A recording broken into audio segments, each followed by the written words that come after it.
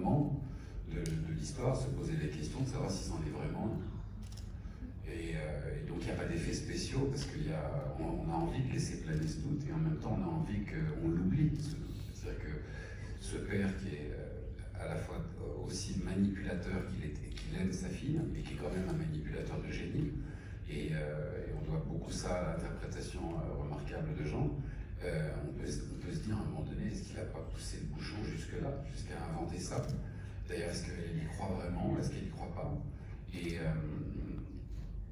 et pour répondre, en fait, pour vous expliquer pourquoi justement c'est finalement un sujet annexe, cette idée elle m'est venue euh, il y a très longtemps parce que j'avais emmené mon petit garçon au cirque et le, clown est entré sur la scène. Et au moment où le clown est entré sur la scène, j'ai regardé les spectateurs dans la salle.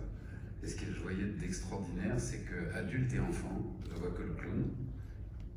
ne voient jamais l'homme qui se cache derrière le masque